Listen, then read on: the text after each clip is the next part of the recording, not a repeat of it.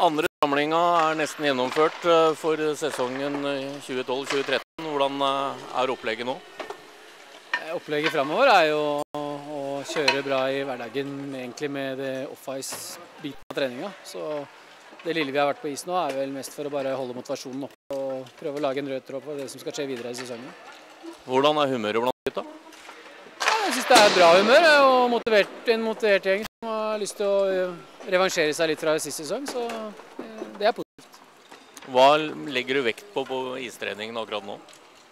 Altså det aller viktigste er å få lov å være litt på is og kjenne litt på det vi skal drive med. Altså være på isen og spille ishockey. Men så har vi en stor utfordring med å få satt et mye tettere forsvar enn vi klarte sist gang. Så det er jo å sette litt fokus på det og ha en rød tråd utover hele sesongen og forhåpentligvis gjøre en bedre figur i neste mesterskap.